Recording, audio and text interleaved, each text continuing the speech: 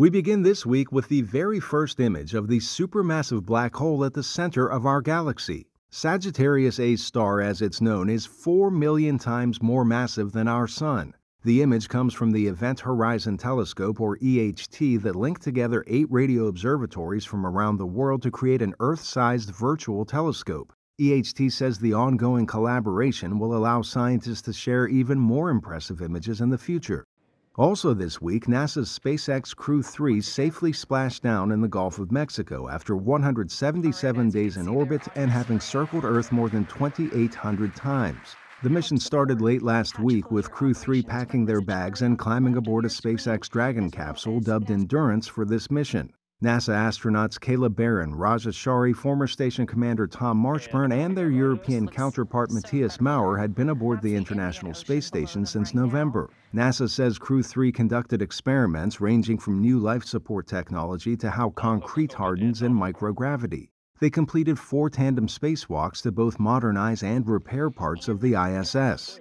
The Endurance splashdown marked the busiest month yet for SpaceX. The private spaceflight company had already sent replacements to the ISS Crew 3 in addition to launching a private spaceflight. SpaceX has now launched 26 people into orbit in less than two years, with eight of them being space tourists.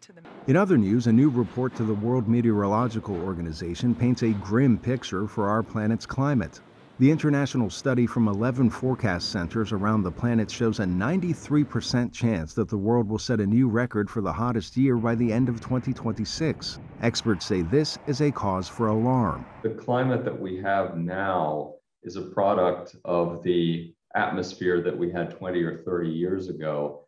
And if we wait another 20 to 30 years, when we have a full on climate crisis going on, and then decide that it's time to really do something serious about reducing emissions, uh, it will be too late.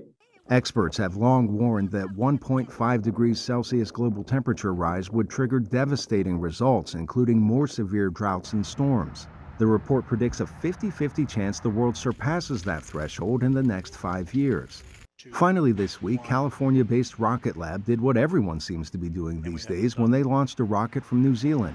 But here's the twist instead of a controlled landing like its competitors, a helicopter caught the booster midair. The real world test did suffer a setback as pilots noticed a weight imbalance and ultimately dumped the booster in the ocean.